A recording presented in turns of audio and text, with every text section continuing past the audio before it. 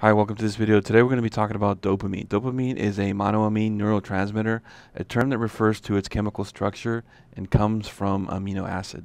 Dopamine is also a catecholamine, a term that refers to its chemical structure and the fact that it contains a catechol nucleus. To synthesize dopamine, the amino acid tyrosine is converted to L-DOPA. Then L-DOPA is decarboxylated to form dopamine.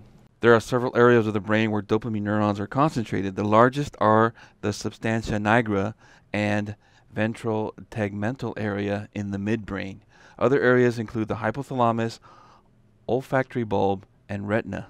There are several major dopamine pathways that carry dopamine from these areas of concentration to other parts of the brain. Some of the largest are the mesostriatal or nigrostriatal pathway, which stretches from the substantia nigra to the striatum the mesolimbic pathway, which stretches from the ventral tegmental area to the nucleus accumbens and other limbic structures, and the mesocortical pathway, which stretches from the ventral tegmental area throughout the cerebral cortex.